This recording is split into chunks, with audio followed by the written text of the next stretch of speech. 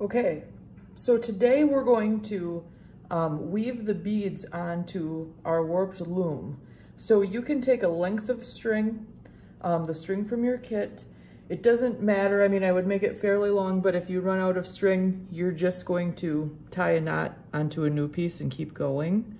Um, so the first thing you're gonna do is just knot one end onto the last string on one end of your loom here.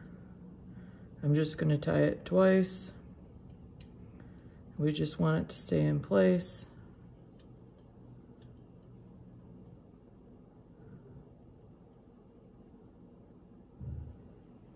And that's it. You can cut off that tail if you want to. And then on the other end of the string,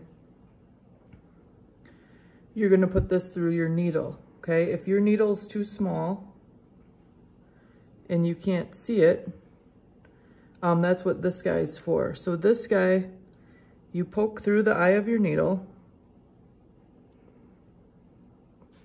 and then weave your string through that bigger hole. That's much easier to see through or to see and put through. Um, and then you pull it back through your needle. Okay? If you just want to do that on your own, that's just fine too. And then actually weaving the beads is pretty easy. So like I said, you're going to start with one row.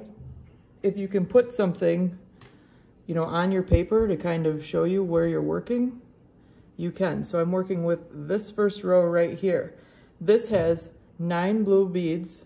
Wait, one, two, three, four, five, six, seven, eight, nine, ten. Just kidding. 10 blue beads, one white bead, because yellow is white on mine, and then two pink beads. I'm going to use red ones. So I'm just going to put 10 blue beads onto my string. There's three.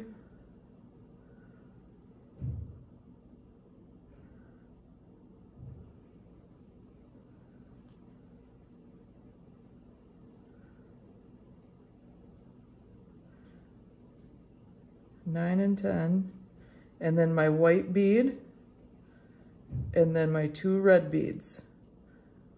You just want them in order. Now see, since I had them all separated, how easy that was. If you have them separated, it does save you a lot of work on this step.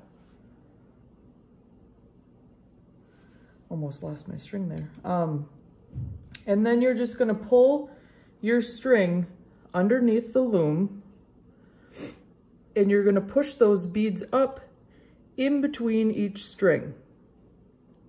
So you want one bead in between each of the strings.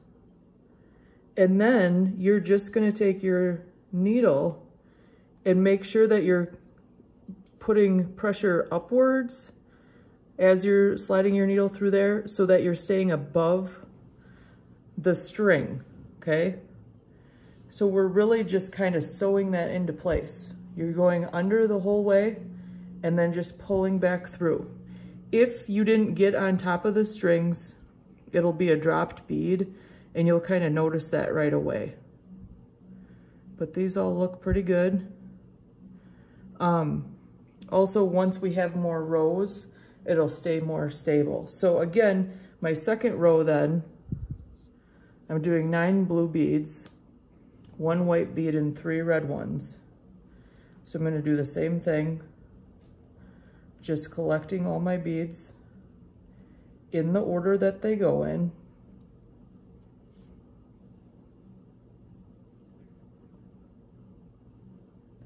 And getting them on the string.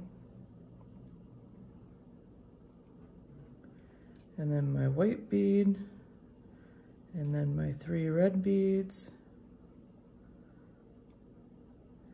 And we're gonna go under our whole loom just underneath it. We're not weaving or anything.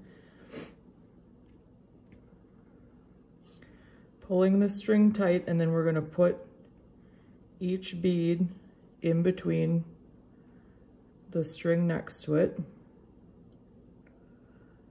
And then you're just gonna bring your needle back through. Making sure to stay above the string.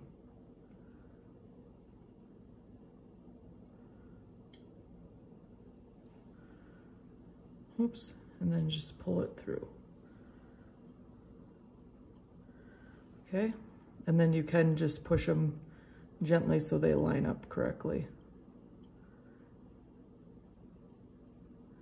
And there you have it, that's two rows. And you just keep repeating that until you're done with your whole pattern.